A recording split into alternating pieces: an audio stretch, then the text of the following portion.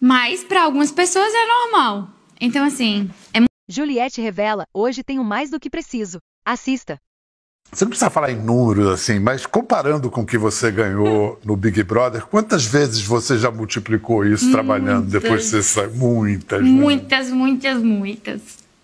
É muito. É mais do que. Agora sim, o meu muito depende do referencial. Para o que eu vivia é. Mas para algumas pessoas é normal. Então, assim, é muito mais do que eu precisaria.